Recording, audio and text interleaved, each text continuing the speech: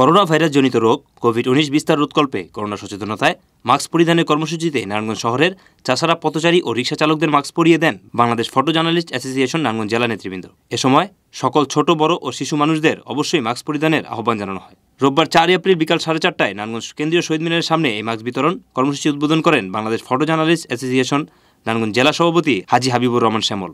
Bangladesh photo journalist association, BPGA, Narayanganj জেলা কমিটির উদ্যোগে বিনামূল্যে দুই হাজার মাস্ক বিতরণ করা হয়। বিতরণে আরও উপস্থিত ছিলেন সংগঠনের সহসভাপতি পাপ্পু ভট্টাচার্য, সাধারণ সম্পাদক মনিরুল ইসলাম সবুজ, সাংগঠনিক সম্পাদক তানভীর রনি, প্রচার সম্পাদক শহীদ হোসেন, কার্যনির্বাহী সদস্য ও সাবেক সভাপতি তাপস সাহা, কার্যকারী সদস্য মেহেদি হাসান সজীব, আরিফ, জয়, সদস্য কায়ুম খান ও মুক্তার হোসেন সহ অন্যান্য সাংবাদিকবৃন্দ। Bangladesh photo journalist association, Narayanganj জেলা শাখার পক্ষ থেকে আগামীকাল যেহেতু লকডাউন এই জন্য আমরা নারায়ণগঞ্জের জনগণকে সচেতন করার জন্য এবং উদ্বুদ্ধ করার জন্য আমরা আজকে Bangladesh photo journalist association Narayanganj জেলা শাখার পক্ষ থেকে মাস্ক বিতরণ করলাম।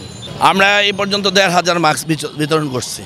করোনার সংক্রমণের ভয়াবহতায় যেভাবে আক্রান্তের সংখ্যা বাড়ছে সচেতন হওয়া ছাড়া কোনো উপায় নাই। ইতিমধ্যে দেড় হাজার মাস্ক আমরা বিতরণ করেছি আরও করব। ভবিষ্যতে আমাদেরকে কার্যক্রম পর্যায়ক্রমে চলবে। Sabbir Ahmed N A N TV Narayanganj